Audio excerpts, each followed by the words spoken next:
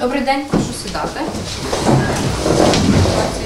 Обвинувачується вчинення кримінальних правопорушень, передбачених статтями 201 зі значком 2, частина 3, е, частина 1 та 2 статті 190 Кримінального кодексу України. Суд продовжує допит потерпілих. На зв'язку з Оболонським районним судом міста Києва у нас потерпіла Ну, справа відносно стара, тому я намагаюся своїй пам'яті, звісно, відновити, що і як було. Е, загалом е, я шукала, де і у кого можна придбати прилад нічного бачення для свого батька. От, е, і допомогу мені прийшла соціальна мережа Інстаграм, де я власне спілкувалася з людьми з цього приводу. Запостила сторіс, і Віталій був людиною, яка спочатку звернулася до мене типу з рекомендацією, де можна знайти, де можна купити.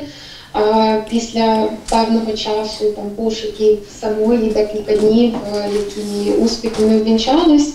Я власне сама йому написала, чи може він мені допомогти купити, якщо я йому скину кошти. Він власне це придбає, е, він погодився.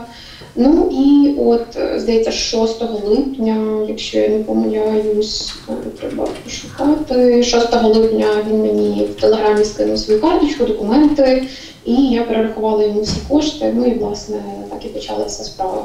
Ви кажете, обвинувачений вказував, що прилад нічного бачення є в наявності. А чому в подальшому він е, цей прилад вам не передав, а м, сказав, що поверне кошти? Що він пояснював з цього А я думаю, е, я думаю, що приладу як такого не було. Е, Я чесне пояснення, я не пам'ятаю ніякого. Е, Хронологічно це було так, що той прилад, ага, я згадала так. Той прилад знаходиться у Львові на складі. Віталій в Буковелі не може мені його віддати, бо ключі тільки в нього, він не в Львові.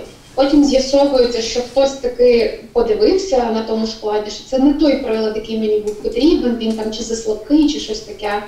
Е, Тобто, ну він вже мені не підходить, начебто.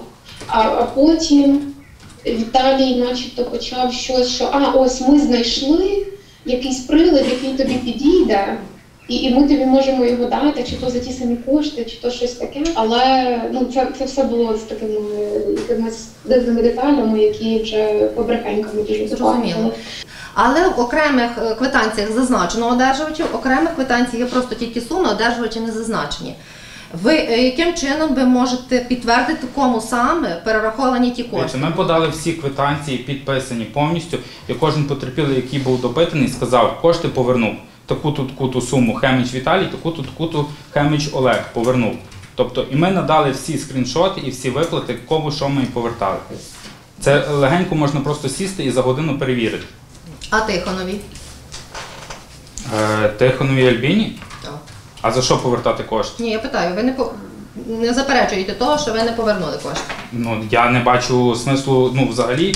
Ну то за я ж щось кажу, ви повертати. е, с- с- е, Дивіться, як я можу, можна я скажу, як я можу повертати кошти, якщо я своїх власних коштів людині віддаю 60 тисяч, вони е, замовляють форму на 33 тисячі і просять в мене, е, бо вони мені скидали 12 тисяч, просять в мене ще 12 тисяч. Ну тобто різницю в цифрах видно, де 60 тисяч чи 80 тисяч я власних коштів своїх дав, а де 12 ще повернути. Тобто, е, можливо, так кожному ще треба повертати. Якщо я даю, вони в мене дзвонять, просять.